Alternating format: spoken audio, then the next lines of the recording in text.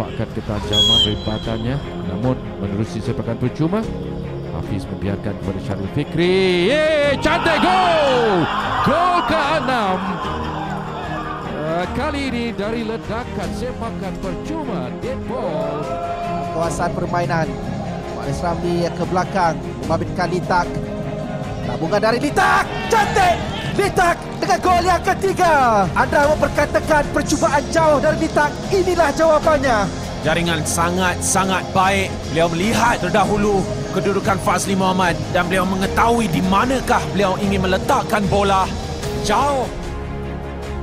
Untuk Citanbi Akan dari Citanbi ketika ini peluang untuk Dennis Bushanik Sekali lagi Dia menyamakan kedudukan untuk Sabah. Di separuh masa yang kedua. Memanfaatkan peluang yang cukup baik Untuk menghidupkan sebelah peluang Sabah Untuk mendapatkan tiga mata mereka. Delivery rendah cuba dikawal oleh Rufino Segovia lepas Syafia Hafiz ini Sandro. Hebatan Sandro gol! 2-0 oh dalam masa tambahan yang sedikit half a, half a space.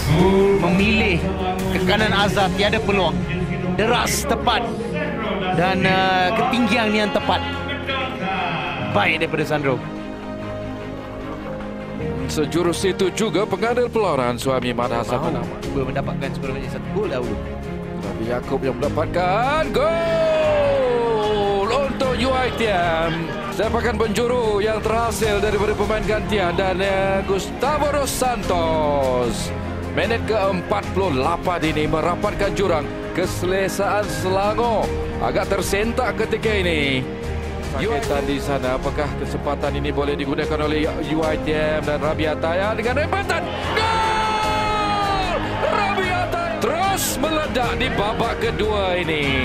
Sepakan lencong kaki kanan Rabiataya UiTM sedang mendalui Selangor 3-2 agak sensasi pencapaian di babak kedua. Pasukan The Lions Troop pada malam ini.